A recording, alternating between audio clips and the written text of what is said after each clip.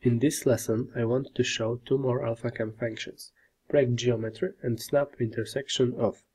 Suppose we want to draw a circle in this place. So, in the middle of the line between the side of the rectangle and the circle.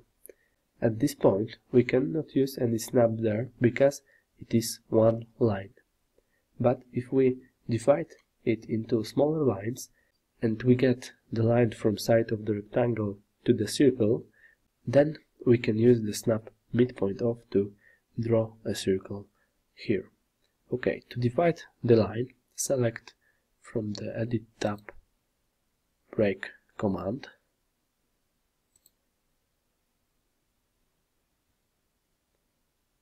Select Geometries and Individual and click OK.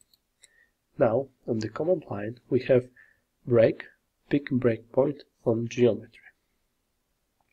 We want to divide the line at the point of its intersection with the circle. If we try to move the cursor over a point in the division point, nothing will happen. No snap will be highlighted and we will not do it exactly.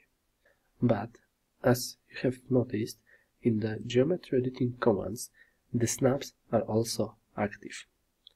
Select the intersection of snap. And now we need to indicate the geometry we want to divide. Click on the line near the dividing point. OK.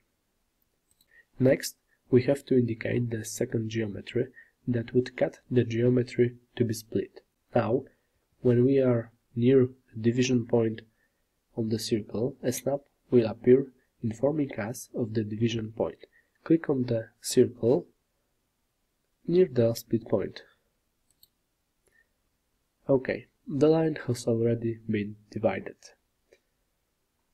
But how to check it? One of the methods I use in such situation is to activate the delete command. Select delete command and after activating this command, as you hover over some geometry, it will be highlighted with a dashed line and this dashed line means one all geometry. Okay, circle is one geometry, rectangle is one geometry, this line is one geometry, and this short line is one geometry. Okay, we can do the same with the line like on the other side of rectangle. Select break, OK, intersection of snap, select line, and next select circle. Now we have separated line and we can use their centers to draw more circles.